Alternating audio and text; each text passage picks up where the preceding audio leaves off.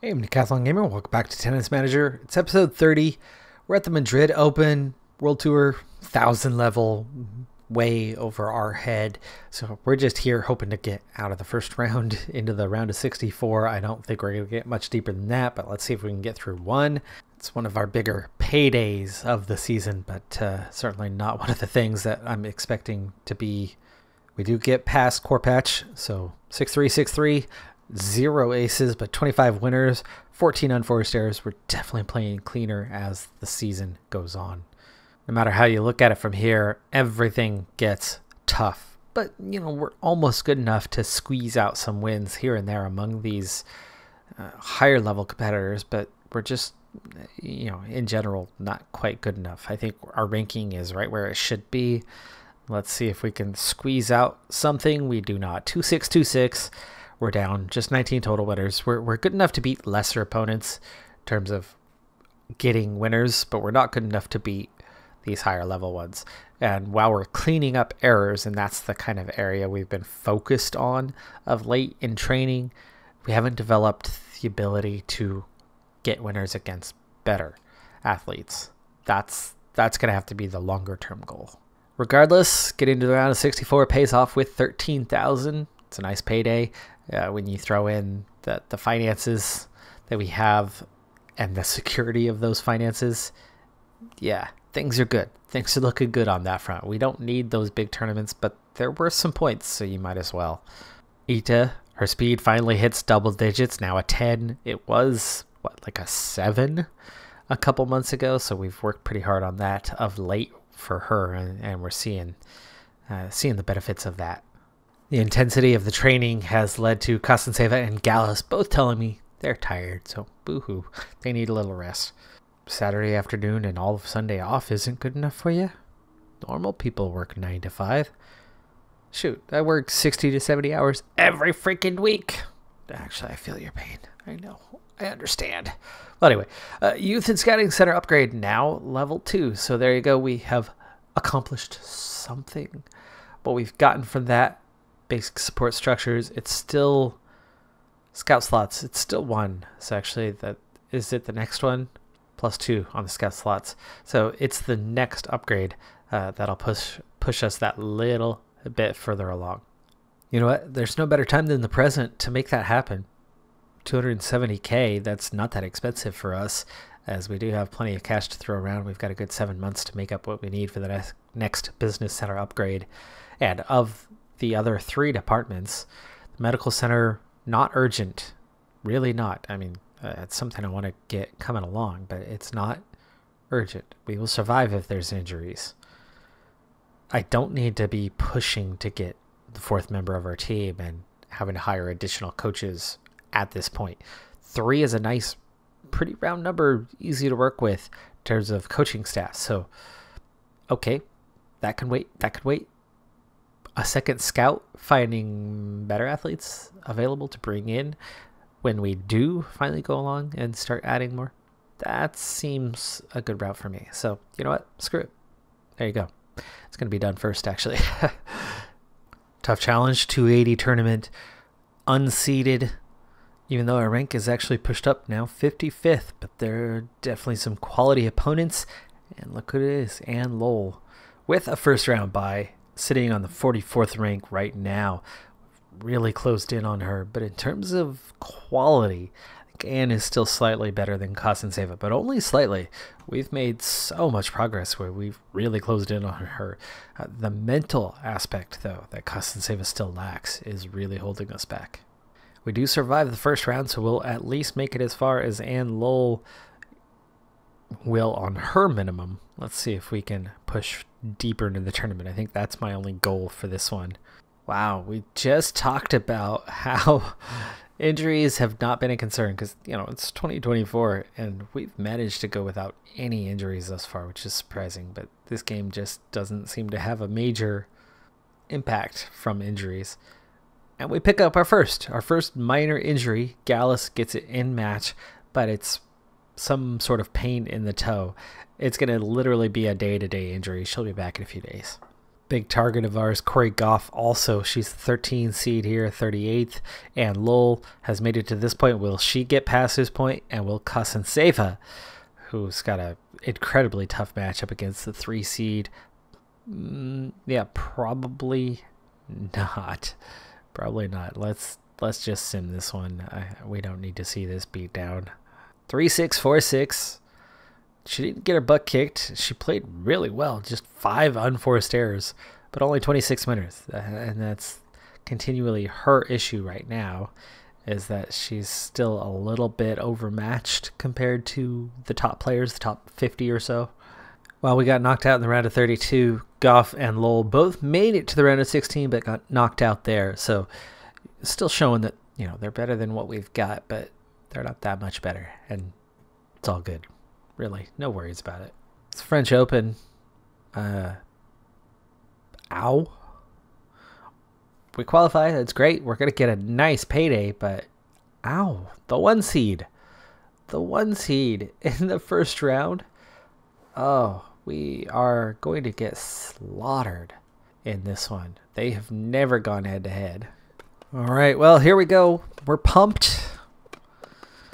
But, you know, we're overmatched. So we'll see how long we survive. These Grand Slams, they do have them set for uh, five sets for whatever reason. Game has not changed that. They do their own thing for this one, as opposed to how it goes in real life. But we'll see how we do in our Grand Slam. Down one, one nil. We do earn a win in the second game, so you know we're not going home empty-handed. Whether we could do enough to win a set remains to be seen. I don't expect to do so. I really expect we're going to go down in straight sets, but uh, you know, if we could at least get two or three game wins per set, I'll be a happy camper. But I think I can really see that we are playing the ball in so much better than before. Usually by now we'd have quite a few unforced errors and we just don't seem to have that. Uh, first set already down. We'll continue on. Uh, me see those statistics. There you go. Yeah, only 34% so far. No aces so far. Nine winners. I mean, we've picked ooh, 10 unforced errors, though. We are making some errors. Hey, we get the first game here, so that's good. Oh, it's the net. The net is killing us right now. Hmm, I wonder what we need to train to fix that. Because we used to be going wide a lot, and that's not the case. I mean, we've really only hit two balls out, uh, but that's eight balls, seven balls that haven't cleared the net. That's that's the problem. Having a lead in a set was cool. That was encouraging. We're still pumped. She's just presumptuous and self-assured she's confident. She knows she's up against somebody well down in the rankings. Even though Raducanu has proven that you can see upsets, that doesn't mean we're going to see an upset here.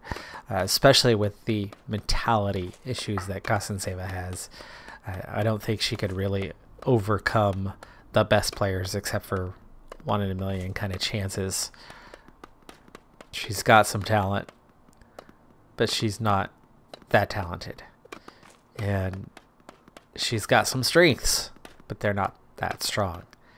We are making her more well-rounded where she's not full of weaknesses. She's not as prone to, to making errors as she was before, but she still lacks the the mental fortitude, I think, to really carry her through big matches. Uh, that's that's one thing we've been waiting quite a while is that that push, that that drive, that that increase in her mental strength that's going to carry her a bit further. Uh, but 5-4, she might actually win a set. Very possible. She had advantage there for a moment, but now at 5-5, uh, it's, it's getting iffy. It's getting iffy. 40-30. Yes. She goes 6-5. Not enough to win the set, though, because she got to win by two, and she's going into tiebreakers.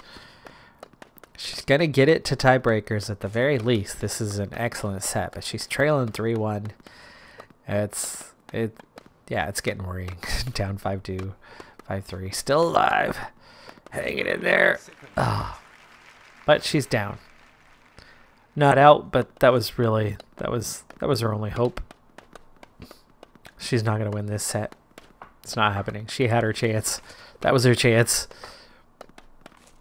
Now she's angry. Svetlana's thrilled, you know, that it's it is what it is. There's that mental issue that she has. You know, as good as she's been and as well as we've been able to get her to uh, develop, she, you know, she's two and a half stars now, by the way. So we are progressing. She was one and a half stars when she joined us. Now she's a two and a half star player. She's developing rapidly still. I mean, it's, it's good. It's really good. But it's just, we know her weaknesses. And those weaknesses are definitely a problem. And we're handling it. We're dealing with it. It's getting better, like I said. But the mental part isn't at least hasn't for a while. I mean, it's been a it's been a good year since that last progress uh, that she made in, the, in, that mental category. I'd love to see a week here where that suddenly jumps by two points, three points, full level, whatever. Really needed the game. Well, needed because it meant set anyway. I mean, it was 3 5, and that one made it 4 5, but uh, yeah, she dropped it when it was 3 4. She dropped it, and then she dropped it again, and that was it. Done. Over. Kaput. She's out. Oh, minor injury. Ankle. One to three days. No worries. Payout, though, almost 50K. Now, see, this is a wonderful thing. Just over a month ago, our balance is right where it is now. We just spent 250K on an upgrade and after just a little over a month, we earned 250K and have bounced right back to where we were in the finances department. That's pretty solid. And we wrap up the clay season. We'll also wrap up the episode a little early today. Ranking, jumping for uh, for Gallus up 20, though she didn't necessarily have the best stretch. Five tournaments, just seven wins through there. Ita moves up in the rankings by 20 spots, seven tournaments again, but also not as effective. And in fact, only 50% win rate for her. Kasatseva, she moves up four spots, but not a great period. It was only five tournaments, though. She wins 11 out of the 15 matches that she played. So only one tournament victory through there. Percentage wise, though, neck and neck with where she was. Gallus serve power plus one, now a nine. She's still very, very weak. We need some work. Uh, it was a light week of training, but she actually still made really good progress with some focused training on serve power. Uh, but I'm trying to give her some time off as she is very fatigued. Kostanseva, meanwhile, was normal. I didn't want to push her into hard training this week as she had needed a rest, though really she didn't. It was just mental. Uh, but the drop shot approaching that 10. That's something I've been focusing on. Once I hit that, I'll, I'll leave off the drop shot for a while, but I've been trying to get it from a 7 up to a 10, and we're nearly there. Agility, backhand, both coming up. Backhand accuracy, I've quietly been trying to push that one towards a 12, get her a little bit better. That's one of her deeper skills that I, I felt needed some work. That does it for this one, though. I'm Decathlon Gamer. Like, comment, subscribe, and I'll see you next time. Have a good one. Be safe out there. Bye for now.